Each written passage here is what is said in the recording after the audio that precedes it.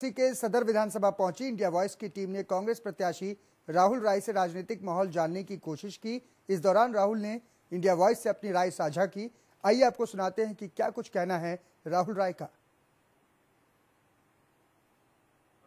हम मुलाकात करेंगे आज राहुल राय से, जो झांसी से, झांसी की सदर सीट से कांग्रेस के प्रत्याशी हैं और इस वक्त हमारे साथ हैं।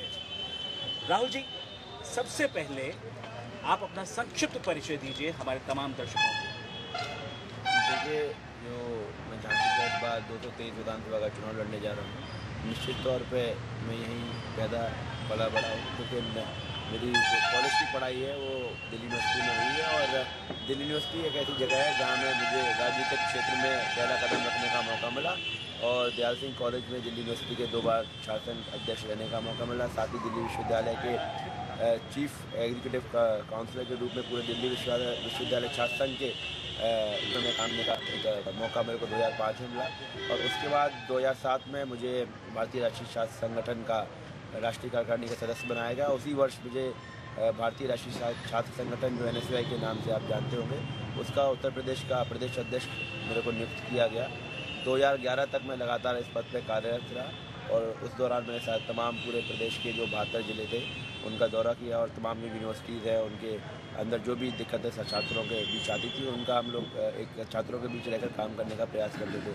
वर्ष 2011 में मुझे संगठन का, यूथ कांग्रेस का जो भारतीय युवा कांग्रेस का संगठन का चुनाव लड़ने का मौका मिला, जिसके अंतर्गत मैं प्रदेश अध्यक्ष का चुनाव जीता और वहाँ से निर्वाचित हुआ और 2013 में पुनः जो प्रदेश अध्यक्ष का जो संगठन का चुनाव था, वो दोबारा लड़के जीत कर आज आज की डेट में भारतीय युवा कांग्रेस के प्रदेश अध्यक्ष के रूप में काम करने का काम कर देखिए, निश्चित तौर पे जो झांसी का मुद्दे रहेंगे, वो सबसे ज़्यादा युवाओं से जुड़े रहेंगे।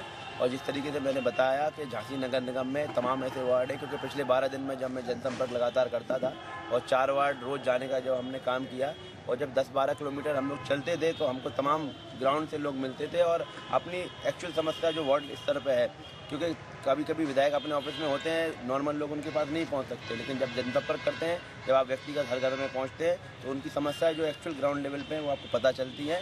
और जो बारह दिन में, जो पंद्रह दिन में हम लोगों ने लगातार जनसंपर्क किया है, साठ वार्डों में से अभी चौवन वार्ड हम लोग जा चुके हैं व्यक्तिगत।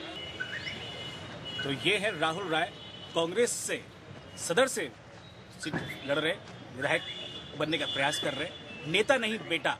इस लाइन पर आगे बढ़ रहे हैं और सीधे सीधे इनका कहना यह है कि बेटे को बताने की ज़रूरत नहीं होती कि परिवार के लिए क्या कुछ खास करेगा। उसको अपनी जिम्मेदारियों का एहसास खुद ब खुद रहता है। और वही एहसास, वही ज़िम्मेदारी अपने मज़बूत कंधों पर लेकर राहुल राय सदर सीट से झांसी की मैदानी जंग में है। अब देखने वाली बात होगी कि जनता इन्हें कितना साथ देती है। हमारे इस कार्यक्रम का खास मकसद सिर्फ़ इतना ही है कि आप अपने कीमती वोट का सही सही इस्तेमाल कर सके और राहुल राय जैसा उम्मीदवार अगर आपको लगता है कि सशक्त है और जिम्मेदार है तो ये आपके सामने है और फैसला अब आपको करना है कि जीत इस सीट से किसकी होगी। अपने सहयोगी के साथ सचिन कुमार, झांसी सदर सीट से इंडिया वॉइस के लिए।